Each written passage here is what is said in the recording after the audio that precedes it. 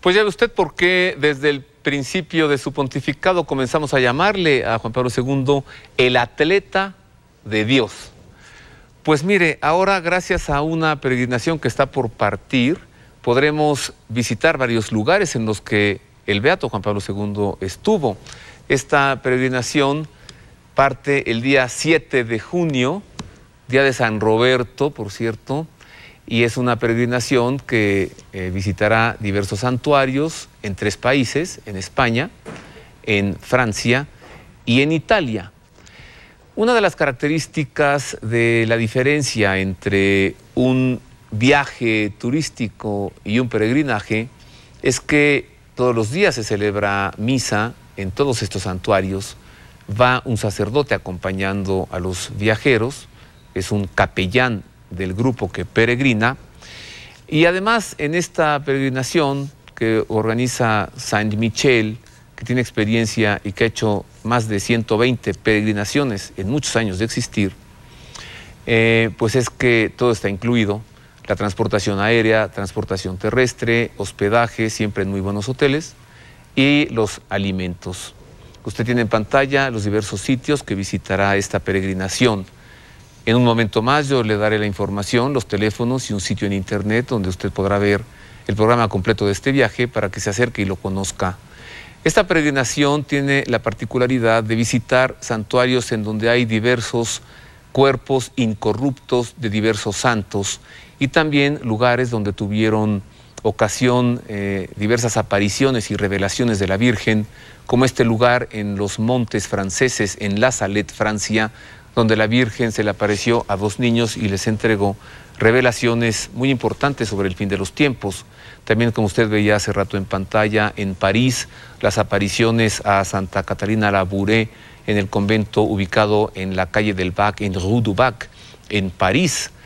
Em, el peregrinaje, como le decía, visita varias ciudades de España, de Francia, y también de Italia, como usted vio, Florencia, Pisa, y termina en Roma para estar en el Vaticano, celebrar la audiencia con el Papa y además conocer las basílicas patriarcales, ahora papales, basílicas de San Pedro en el Vaticano, Santa María la Mayor, San Juan de Letrán, San Pablo Extramuros. Y además esa capilla donde se encuentra una gran reliquia que es la sábana santa, perdón, la, la escalera santa, la sábana está en Turín. Esta escalera santa la hizo traer desde Jerusalén Santa Elena, la madre del emperador Constantino, y se conserva allí en la ciudad de Roma. Solamente se puede subir de rodillas. Son 28 escalones que le permiten a uno meditar en la pasión del Señor y tener una experiencia mística, la verdad, extraordinaria. Claro, siempre que Dios lo permita. Los teléfonos en cabina para que usted, en pantalla, perdón, para que tenga la información, 4980 8641 y 9171 1355 y el programa completo en el sitio de internet www.saintmichel.com. Un servidor va a esta peregrinación para grabar por televisión, documentar y entregarle a usted programas posteriores y mostrarle estos santos incorruptos y hablar más sobre las revelaciones y apariciones marianas. Hago una pausa, regreso con más de este programa especial con motivo de la beatificación de Juan Pablo II.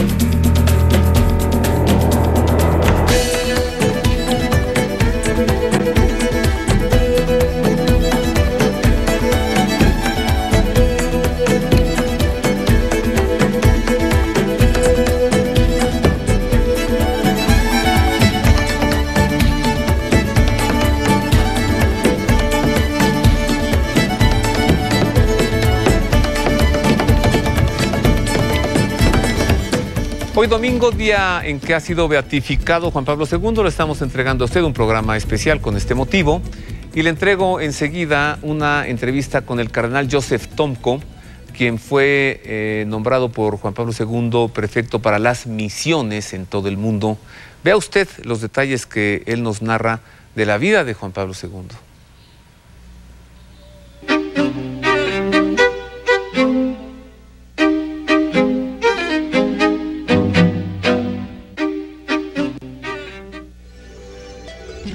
Durante muchos años tuve la gracia de servir a la Iglesia prestando mi servicio a Juan Pablo II.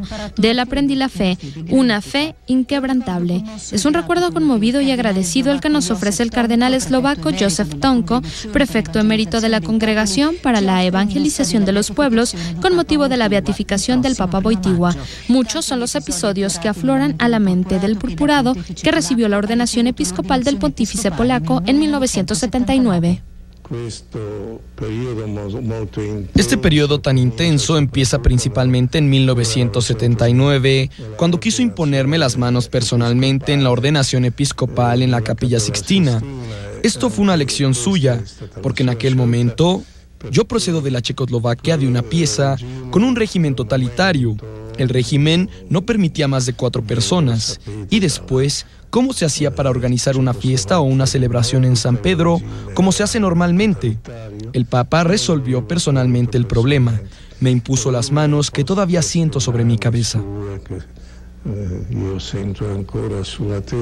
El cardenal Tomko compartió con Juan Pablo II la pasión por la montaña y sobre todo el anhelo misionero. Recuerda que en las primeras palabras de la encíclica Redemptoris Missio está bien sintetizada la visión del gran Papa sobre este tema.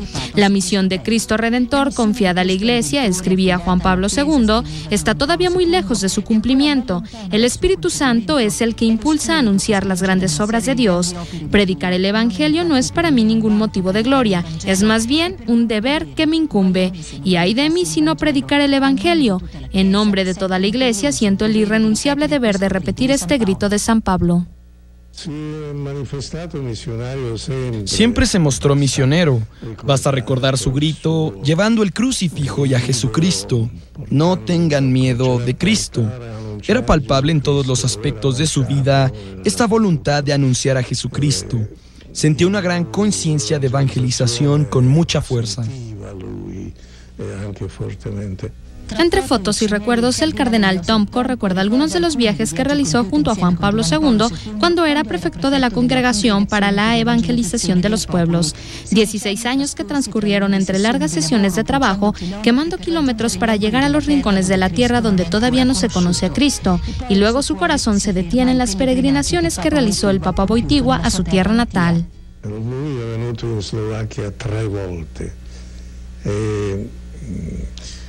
Vino a Eslovaquia tres veces. Recuerdo sobre todo el último viaje en 2003, cuando ya se encontraba mal y ya no caminaba.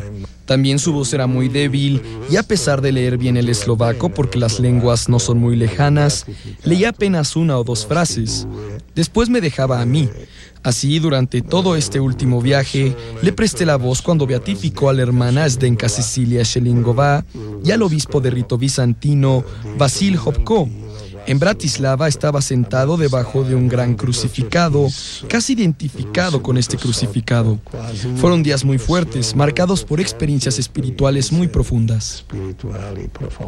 El purpurado está seguro de que este primero de mayo cientos de miles de personas acudirán a rendir homenaje a este gigante de la fe, dando gracias por lo que Juan Pablo II les dio en 27 años de pontificado.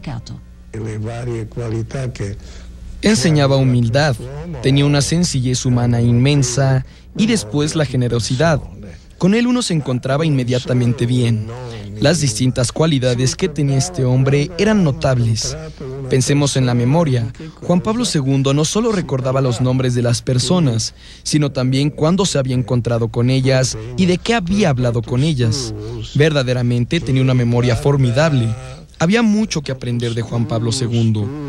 La generosidad sin fin, De verdad, para no hablar del compromiso, este totus tus que se refiere a la Madre de Dios, su madre y madre de Jesús, porque para él esto estaba unido de la misma manera que se produce siempre en los íconos. Por eso, en aquel totus tus se expresa un totalitarismo espiritual de ofrenda. Este hombre se entregaba todo, todo. Mm. El Beato Juan Pablo II. Oiga, hoy la Plaza de San Pedro ha estado tan llena como nunca. Ha sido la beatificación con más cantidad de fieles presentes. Y en México, ¿qué podemos hacer? Pues mucho, rezar mucho y pedirle la paz para México, pero también vamos a donde está su estatua de bronce, allí en Avenida Insurgente Sur, en la colonia Guadalupeín, esquina con la calle Juan Pablo II, y vamos a dejar flores allí, a ver si podemos dejar el sitio lleno de flores. Usted recuerda cómo comenzamos este programa hoy. Comenzamos viendo el féretro de Juan Pablo II de madera tan sencilla colocada sobre el piso en la Plaza de San Pedro. Vamos a terminar este programa así, recordando esos momentos, pero también escuchando la voz de Juan Pablo II con tareas precisas que él en vida nos dejó.